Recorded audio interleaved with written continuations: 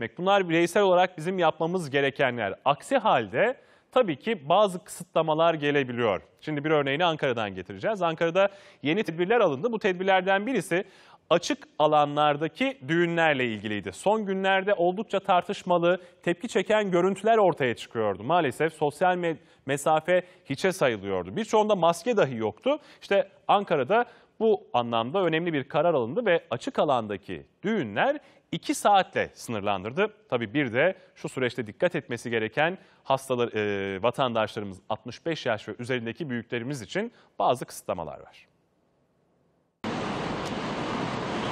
Ankara Valiliği Covid-19 önlemleri kapsamında yeni kurallar getirdi. Bulaşın azalması için çalışmalar başladı. Valiliğin açıkladığı genelgeye göre başkentte sokak düğünleri bundan sonra 2 saati geçmeyecek. 65 yaş üzeri vatandaşlar ve kronik hastalıkları olanlarsa düğün, cenaze, taziye, pazar yeri, sosyal faaliyetler gibi toplu alanlara hiçbir şekilde katılmayacak. Valiliğin kararına göre Covid-19 tanısı konmuş kimselerle teması bulunan ve evlerinde karantina altında olan vatandaşların denetimi muhakkak sağlanacak. Bunun için salgın denetim merkezleri bünyesinde mahalle denetim ekipleri oluşturulacak. Bu yöntemle karantinaya alınan kişilerin birebir takip edilmeleri sağlanacak.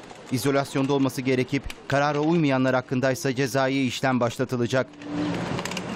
Taksi dolmuş ve toplu ulaşım araçlarında da sosyal mesafeyi artıracak çözümler getirilecek. Şoför mahalli ile yolcular arasında fiberglassla bölümleme yapılacak. Temas en aza indirgenecek. Ayrıca vatandaşlar kamu kurumlarına girerken ve kurumlara randevu alırken Hayat Eve Sığar uygulamasındaki es kodlarını kullanacak. Temas durumları bu şekilde takip edilecek.